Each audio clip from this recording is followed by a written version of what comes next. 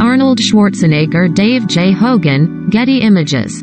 Arnold Schwarzenegger was involved in a multi-car crash on Friday afternoon that left at least one person injured. The incident occurred shortly after 4 p.m. near the intersection of Sunset Boulevard and Allenford Avenue in Los Angeles, police said. There were multiple vehicles involved in the collision. A woman was transported to hospital. Her condition was unknown, according to authorities. The Los Angeles Police Department would not speculate as to who was at fault.